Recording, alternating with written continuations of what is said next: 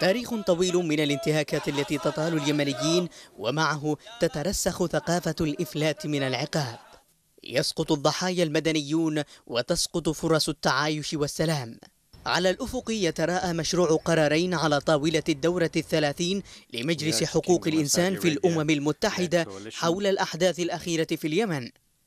مشروع القرار الأول الذي تبنته هولندا يقضي بتشكيل لجنة أممية محايدة للتحقيق في انتهاكات حقوق الإنسان من كافة أطراف الحرب في اليمن.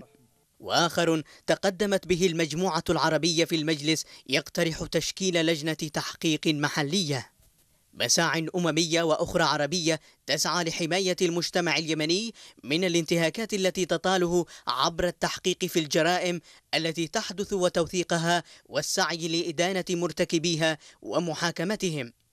ولكن إلى أي مدى يمكن للتحقيقات أن تخدم الحقيقة وتنصف الضحايا؟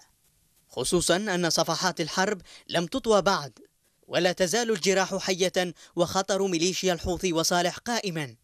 فيما لا يزال طيران التحالف يشن غاراته على الأهداف التي تضعها الحكومة له.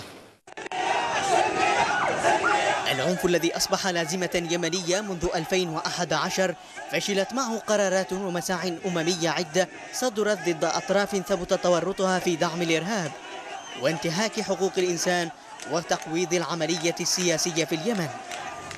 تزايد ضحايا الحرب في اليمن مؤخرا منذ قررت جماعة الحوثي اللجوء إلى العنف لتحقيق أهدافها السياسية هل ستفلح القرارات هذه المرة في تغيير النظرة حول فشلها الدائم في إدانة الجناة ومعاقبتهم؟ تؤكد التقارير الدولية أن ميليشيا الحوثي وصالح انتهكت القانون الدولي الإنساني مرارا في الأحداث الأخيرة في اليمن عن طريق إطلاق الأسلحة عشوائيا ودون تمييز على مناطق مدنية مأهولة في اليمن وداخل الحدود السعودية وزرع الألغام في المدن المأهولة والطرق بالإضافة إلى جريمة تجنيد الأطفال لحساب قواتهم. تضيع الحقائق بين تغاضي أطراف الصراعات في البلد وكذلك لدى بعض الحقوقيين الذين أصبحوا ممثلي لأطراف الصراع لدى العالم. ومعهم تضيع حقوق الأبرياء وأرواحهم التي تزهق كل يوم ولا سبيل لإنصاف الضحايا والغير